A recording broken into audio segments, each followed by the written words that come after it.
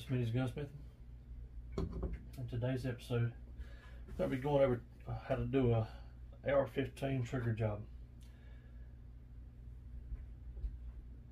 This trigger job I'm going to show you guys is completely, well, I'm going to say it's almost completely reliable within reason and it's completely safe and I have done quite a bit of testing with this method and it's yielded great results for me. Um, the only issue you could run into with this trigger job is going to be the possibility of some light primer strikes with foreign made or military grade primers. Um, however, with that being said, I have done this trigger job on my personal rifle and testing it with all kind of different ammunition. Um, military made, um, foreign made. Um, I've ran just about any kind of ammunition you can think of through my gun. I've had no issues with light primer strikes. And that's going to be in part due to a modification we're going to make. And I'm going to show you how to do to the hammer. Now, that being said, I urge you, if you use this trigger modification on any weapon that you're going to use for defensive purposes, or if you use this on um, any duty weapon that you're allowed to modify. Uh, if your particular agency or organization allows you to modify your duty weapons, make sure that you uh, test this extensively with whatever kind of ammunition you're going to be utilizing for defensive purposes or duty carry. Make sure that you get reliable ignition on all your primers. Because the last thing you want to have happen on a duty ammo or a defensive um, or on a duty gun or defensive gun is have your ammo fail to go off when you need it to. Um, that being said, I've used it on, you know, I've tested all kinds of ammo and I've had zero problems with ignition. And I'm going to go over how to, to manage that um, a little bit later in the video. Also, parts of this video are going to be sped up, so you don't have to sit there and sit through a whole bunch of um, very tedious, boring, um, lengthy work. The modification that I'm going to show you guys how to do is going to take your factory hammer and trigger and leave them as is. Well, you're going to use the same hammer and trigger. We're not going to leave the hammer as is. You'll leave the trigger as is. But we're going to change out the springs. Okay. After we change out the springs to make your hammer compatible with the new spring weight, we're going to modify the hammer. Um, we're going to be using the product. This is a very cheap and expensive trigger job.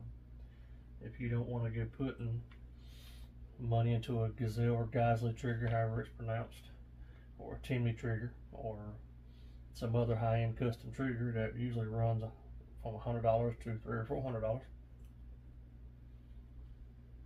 You can utilize your existing hammer and trigger if you've got a decent one to start with. You can buy this spring spring kit here from JP Enterprises. This is their enhanced reliability AR fire control spring set. It's got a red paint covered uh, hammer a yellow hammer spring and yellow coated trigger spring and a disconnector spring.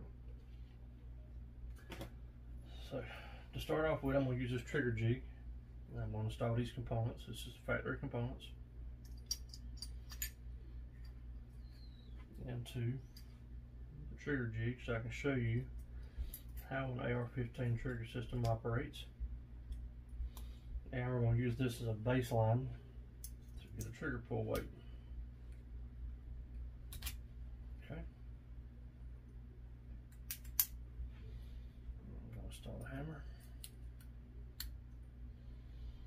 This is a little more difficult than installing an actual rifle receiver.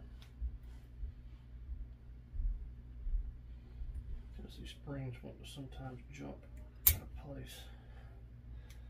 But in this case it didn't. Okay.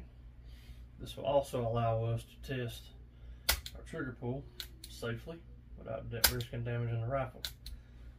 On an AR-15 lower receiver, you do not want to let the hammer fall against your receiver and your bolt catch, bolt stop. Okay, you can damage your receiver and or this lever right here. This trigger jig has a rubber hardened um, post right here on the top that the hammer falls on so it doesn't damage anything.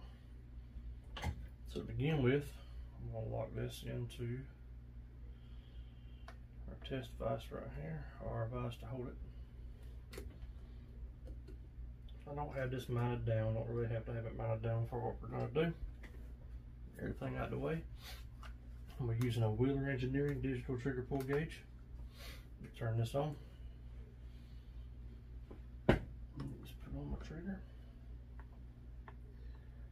I'm gonna pull straight back. Okay. My first reading was four pounds, 13.3 ounces. Reset my hammer.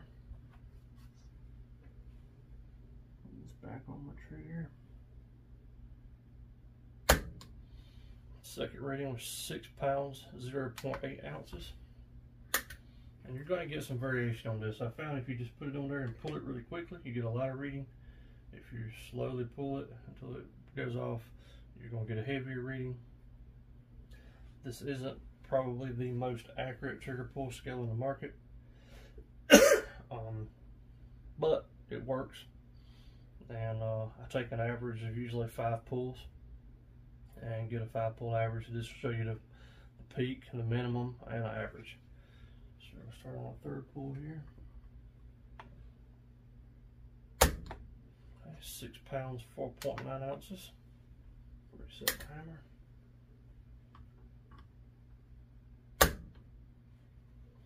I know I messed up on that and I'm gonna delete that one. Back in for a first pull again. Okay, five pound, 14 ounces.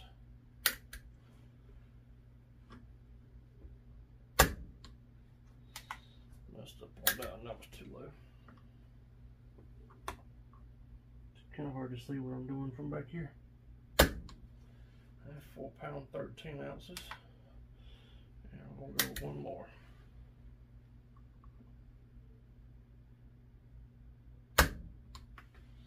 Six pound, 1.5. Okay. That's gonna give us an average pull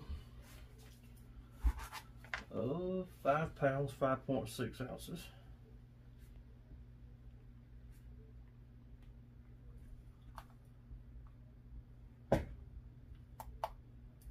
What a maximum of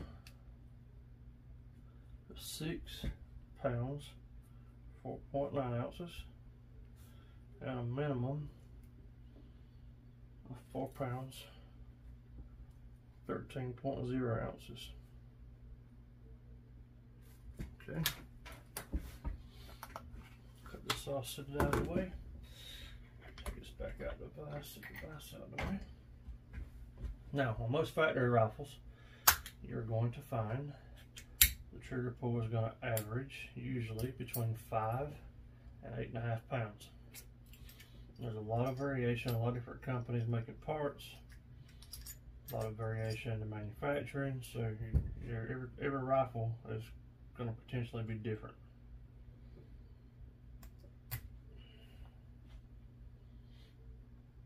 But you're going to find most of your rifles run between 5 pounds and 8.5 pounds. So what I'm going to do is take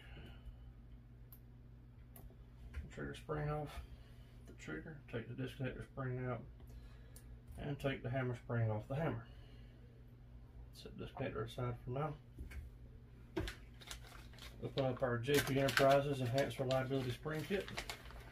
Drop those three springs out. Then install our yellow trigger spring. You want to install your spring so the legs are to the front. Okay. And this bar right here is going to ride underneath the front bar on your trigger. Easiest way I found to do this, slide it straight up your trigger like that. Okay, and just open up your spring. Get one side on, rotate it forward, lift the other side up and over, okay? And you want it to ride on your trigger, just like that. I'm gonna put my disconnector spring in. That came with the JP Enterprises spring kit.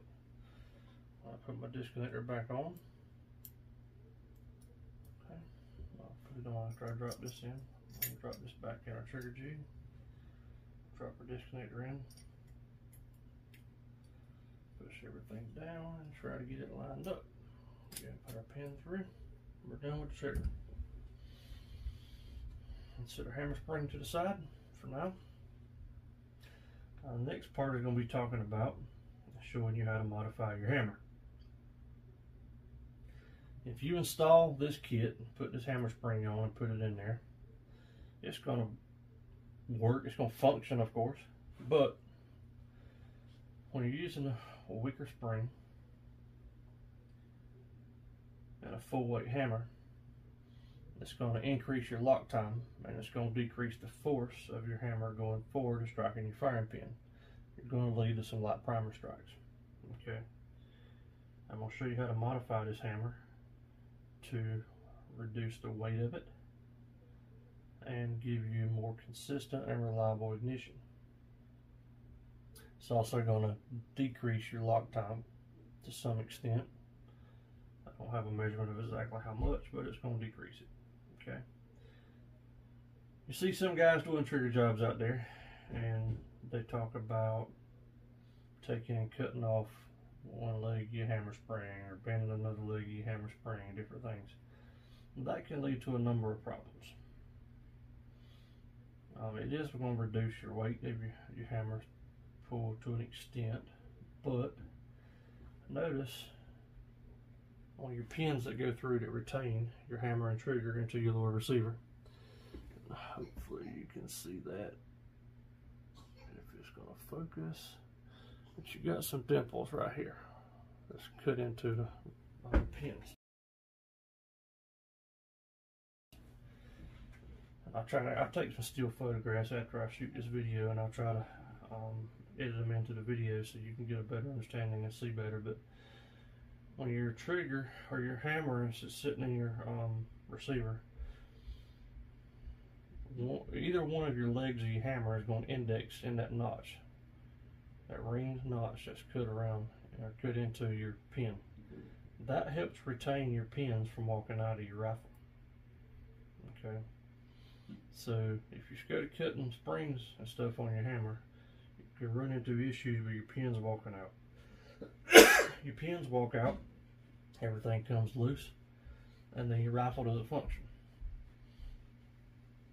Also, when you go bending or cutting one of the legs on your hammer spring, it can cause things to get cockeyed a little bit inside your um, lower receiver. And you can run into a whole bunch of different issues. I don't ever recommend following those cheap methods.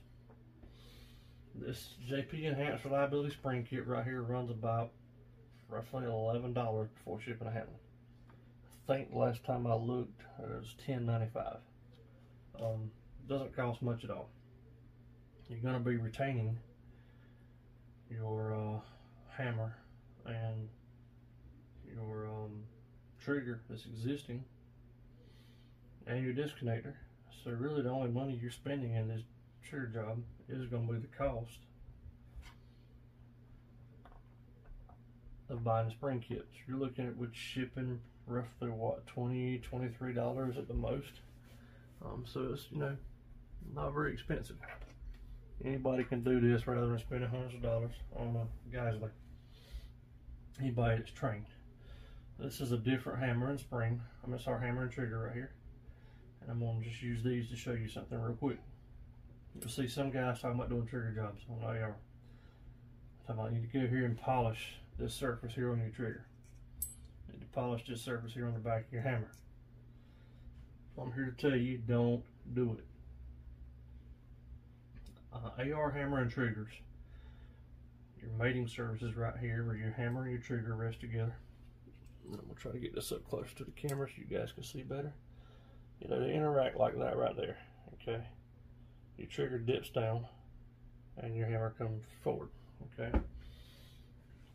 These surfaces come smooth from the factory if you got a quality hammer and trigger, a decent quality hammer and trigger. They're good and smooth. Now, these parts are only surface hardened, and it's a very thin surface hardening. If you go in here and you start polishing, stoning, filing, or sanding on these two surfaces right here and right here, you're most likely going to remove that surface hardening or at least wear it thinner. And what's going to happen is as you fire the rifle in a number of uh, rounds, it could be 5, 15, 30, 50, 100, a couple hundred. Just really depends on how much that surface hardening you remove or if you remove all of it. For the first however many rounds, it's going to feel really nice and smooth and crisp. You're going to have a really nice trigger pull. However, after that surface hardening wears through, what you're going to have is it's going to start wearing this metal. For these two points interact, it's going to wear that metal. You're going to wind up cutting a groove in the front face of your trigger. And it's, you're going to start getting a mushy trigger. After that, at some point, if it wears enough, you could start having an issue where it double fires or triple fires. Or it wears to the point where this doesn't even engage and catch the hammer and hold it back reliably anymore.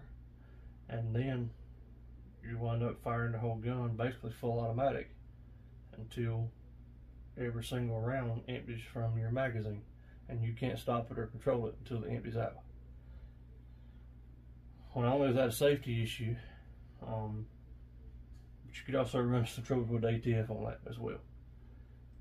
Don't do it don't uh, don't ever polish, stone, grind, file, sand, or do anything to this surface right here and this surface right here, ever.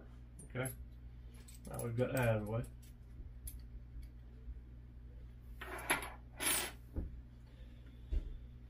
I'm gonna go ahead and install this spring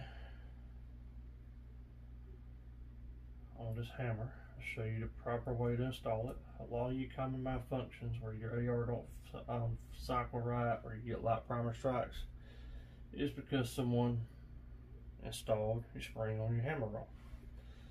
Your hammer spring should be like this, okay?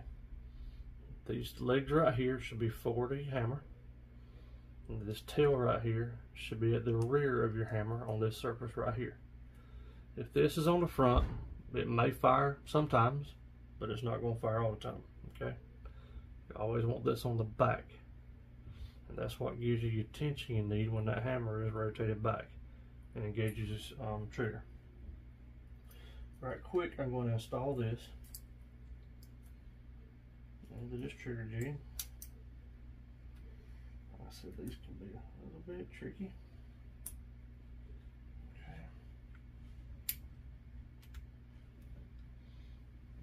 Using this trigger jig, I want to show you how the AR trigger platform works. I'm going to stand up here so I can get closer to the camera. When your rifle is at rest, or your action is at rest in your rifle, your um, hammer's not cocked. This is how it sits in your rifle, okay? When you cock and charge your rifle, your hammer's going to come back. And you can see right here where your hammer engages the front surface of your trigger. This is basically, these two surfaces is basically your sear surface. Although an AR doesn't particularly have an individual sear, like some guns. But this is basically your sear surface right here where the two meet and engage, okay? You pull the trigger, trigger drops down until it releases the hammer. Your hammer goes forward, impacts your firing pin, and it detonates your primer. Alright, This again. You fire your trigger and hold your trigger back. Okay. Your bolt and everything will come back after the round is fired due to the recoil and the gas system. It'll push your firing pin back and that's going you see that disconnector move back? It's going to move back with enough force until your disconnector engages your hammer on this hook right here on the back of your hammer. Okay. You see how the hook on your disconnector is engaged with that. That is what keeps the rifle semi-automatic. When you release the trigger, that hook will slide off and the front of your trigger right here will engage your notch on the back of the hammer and set it back up and it's ready to fire. Okay? It's important that you do not mess with your disconnector. You don't mess with this hook here on the back of the hammer the disconnector catches into. Okay? Because what happens is, if you mess with this surface here, grab it. If you mess with this surface here on the back of your hammer, or you mess with this hook on the front of your disconnector, you can mess up the semi-automatic function of the rifle and cause it to go full auto. Again, this is not a way to convert it to full auto because what's going to happen is you're going to have no control over it. If you mess this up to where this disconnector does not hold this hammer back, when you fire around, your hammer's going to come back and it's going to automatically just let loose. And it can miss this trigger surface right here and the hammer's just going to repeatedly bounce back and forth until you run ammunition. There's no way to stop it, okay? Now it may not. It may catch on the trigger like it's supposed to, or it could miss it. There's, it's a very fine line right here between your trigger coming up enough to engage with the disc disconnector not working properly. Okay, don't mess with those surfaces. Not only is it dangerous, you find yourself in trouble with ATF. Okay, so I'm gonna take this back out, and now we're gonna talk about how to modify this hammer.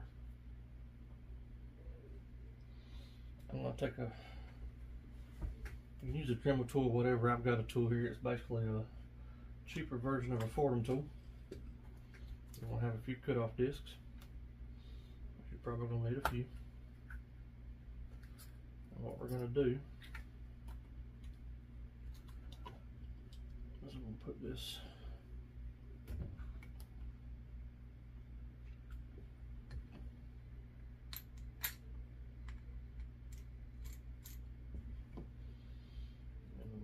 into my flex shaft here.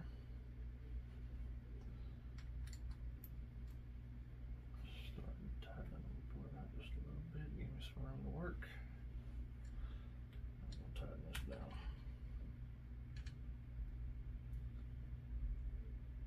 And this is a cheap unit I got. This has got a foot pedal control for the power. This is a cheap unit I got off of uh, Amazon or eBay.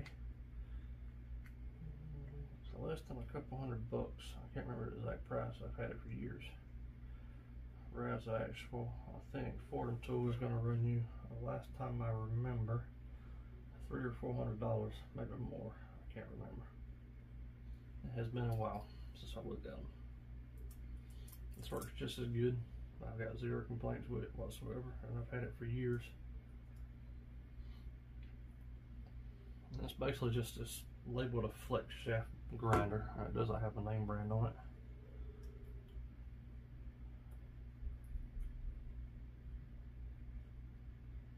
It works extremely well.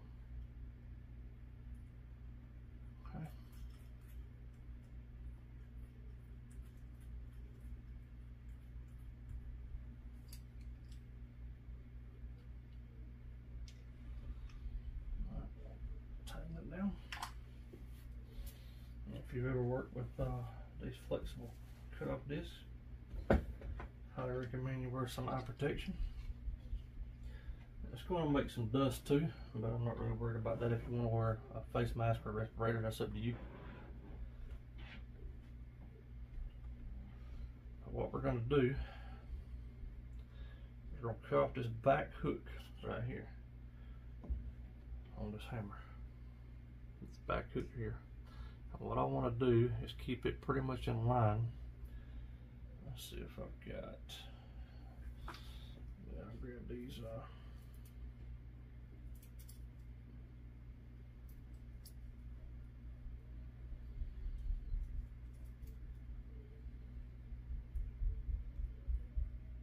gauges right here. Okay, so what I want to do is pretty much take it off where I've got a straight line with this six just raised portion right here, okay?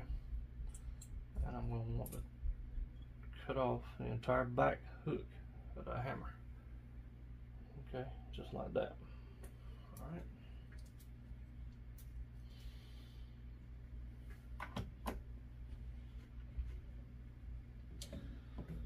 So we'll come right here.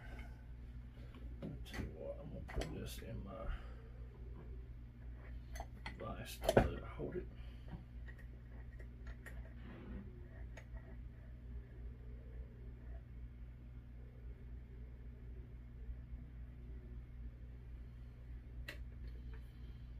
Just to make it easier. Okay. Now, you can do this on a grinder. Take an angle grinder with a cutoff wheel. You can take a bench grinder. You can grind this down. However, I don't recommend doing that because you're going to get the metal extremely hot. And if you do it fast enough, you can get it glowing red. Um, so I'm just going to do it with this. And then we're going to touch it up and shape it up with the angle grinder. Okay.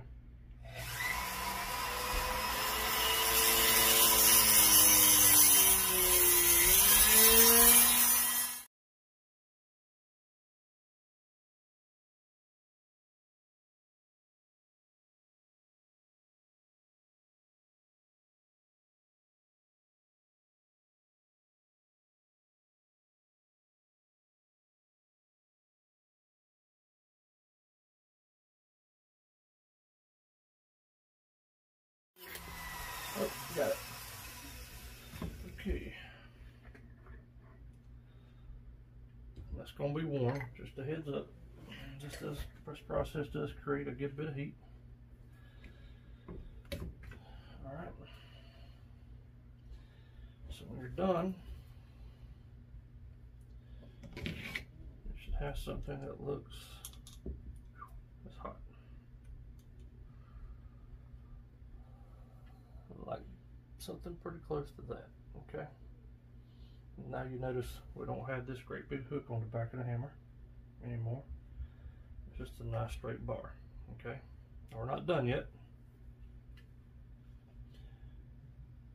I'm also going to get back on here and we're going to shape this up and smooth it out a little bit on the belt sander. And you see how this portion right here is raised on either side. Okay, we're going to go back and we're going to narrow that down as well on the belt sander. Alright, I'm going to stop the video here to get set up over there.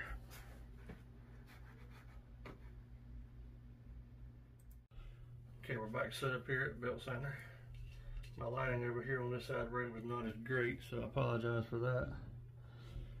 And what we're going to do, I've locked this into a pair of um, very small vice grips. You want to grip it up here by the front and not on the back side, okay? If you see where I got it gripped right here, just front of the um, notch where your pin goes through. I grip very tightly there, it's not going to damage anything, it's going to affect, affect the function, okay?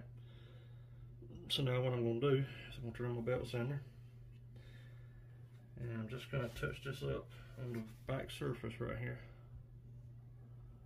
Okay, and smooth that out where we cut it off with the grinding wheel. Actually, I'm to do that on the side right here. Or I can keep it parallel on this grinding wheel. Okay.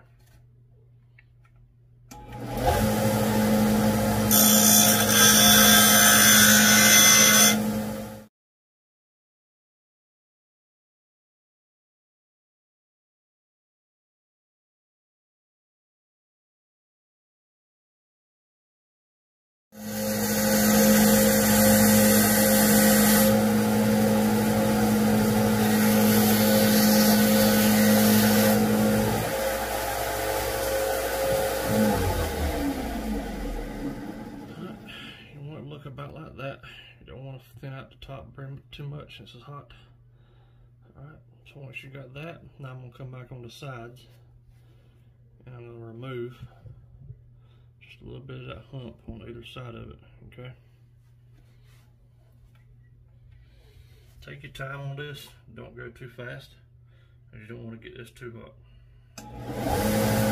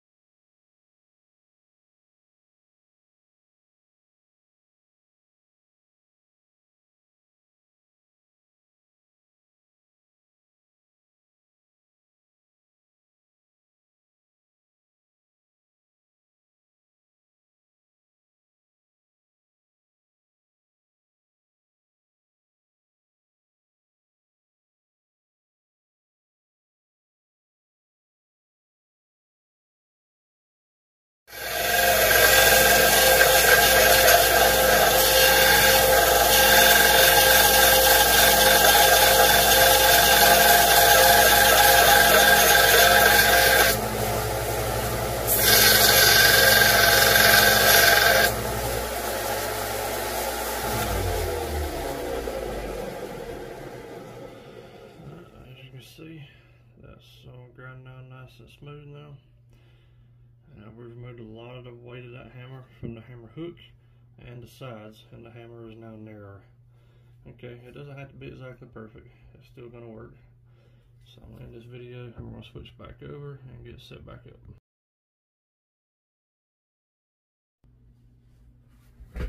Alright everyone, back from the segment. I uh, actually went and grabbed something to eat right quick while I let this hammer dry, or rather cool down from where we have uh, done all the sanding on it. Okay, so now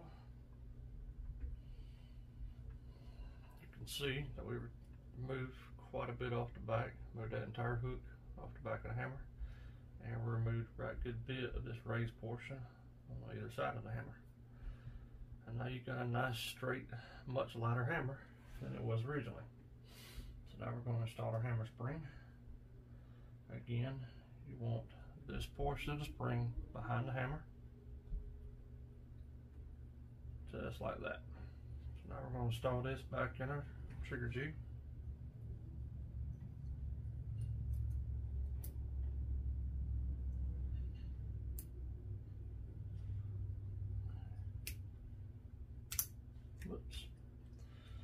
Let us slip.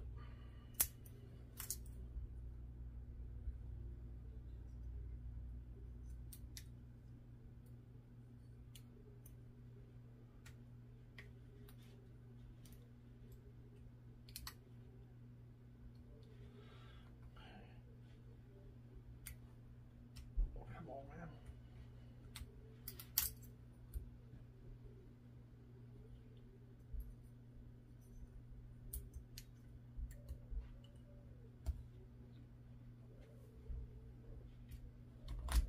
Okay.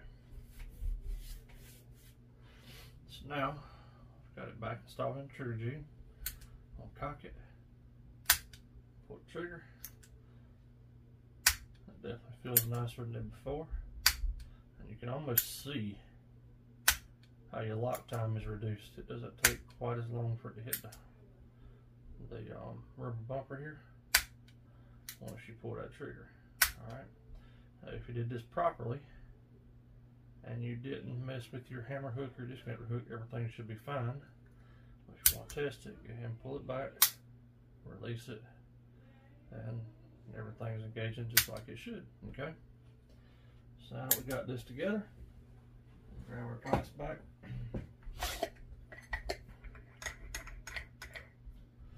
Now we're going to take some measurements here.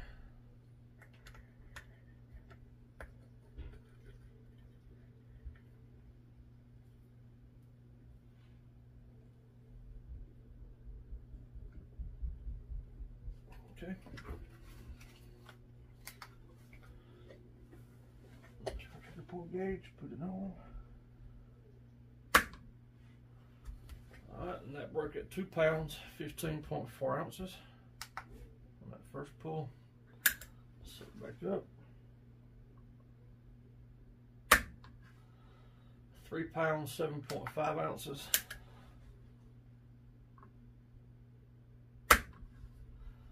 Three pounds, 8.6 ounces. Three pounds, 5.0 ounces.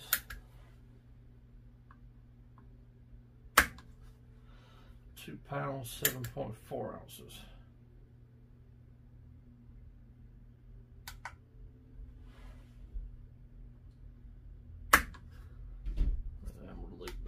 That, was off a little bit. Two pound fourteen point one. okay. Set this back over another mode. And we had an average trigger pull two pounds fourteen point four ounces.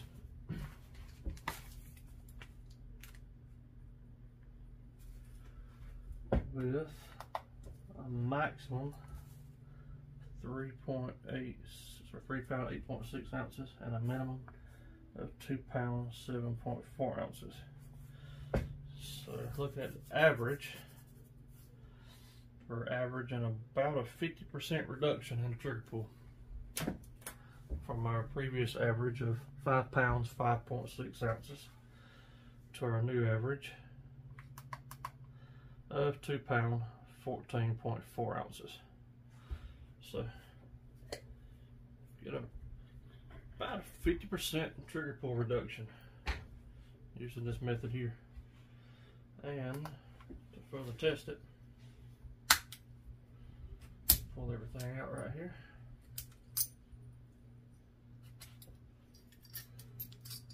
And to install it into the actual receiver right here.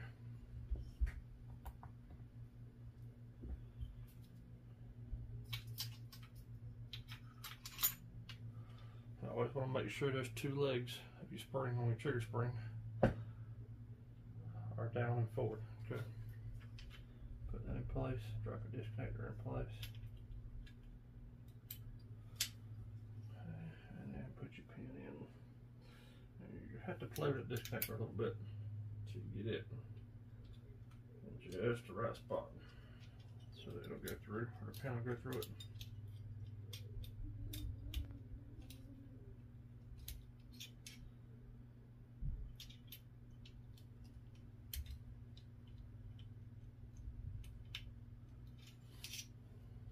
What I found helps is to start your pin in, get it just flush with the channel where your disconnector rides in.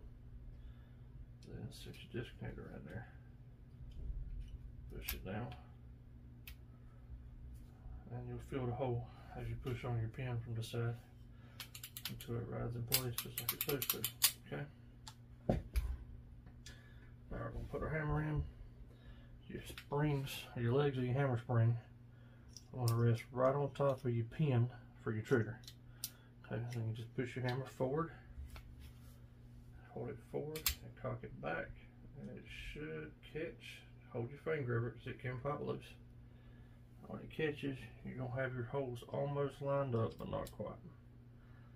Okay, so start your pin, and then just push down in front of your hammer until it all slides right in place. Okay.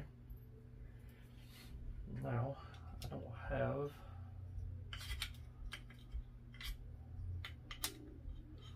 bumper there, so I'm gonna put this one, I'll hold this one in place, and we're gonna test trigger pull. That felt good.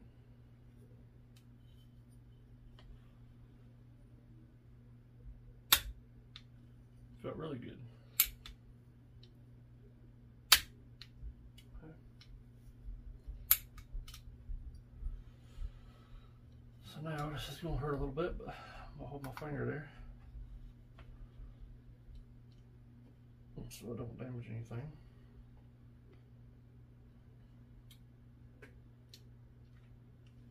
Try to get it where it hits the side right there. There we go. Alright. We're gonna test the pull and the actual rifle. Okay, I messed that pull up. I kept pulling after it released. Three pound, 1.9 ounces for the first pull. Two pound, 11.8 ounces for the second pull.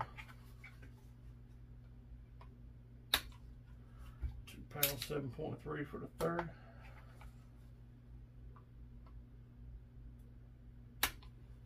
Three pound, 10.4 for the fourth. I pulled out a little bit beyond what it's supposed to have been.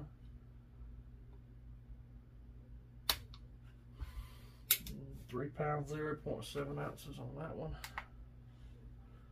Now we're gonna go one more. Ow. That hurt. And I pulled that one too heavy, so I'm gonna release that. We'll delete that one. Uh, three pound, 13.4 ounces. Okay.